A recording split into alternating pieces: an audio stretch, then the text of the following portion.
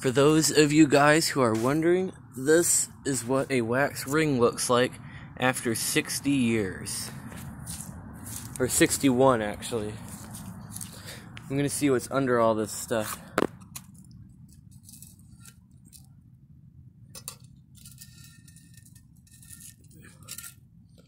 Still yellowish underneath it all. Yeah. I mean, stuff ages, but it looks like it never broke down.